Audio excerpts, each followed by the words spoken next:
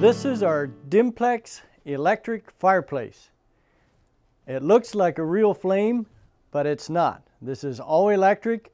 There is no heat except for a little bit from the bulbs out there.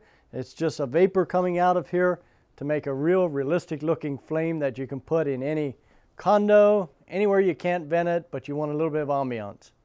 Here we have another Dimplex electric fireplace. This one hangs on the wall. Again, the same thing. It's just a vapor mist coming out there, but it looks like a very real flame. Just a really nice eye-catching unit to hang on your living room wall.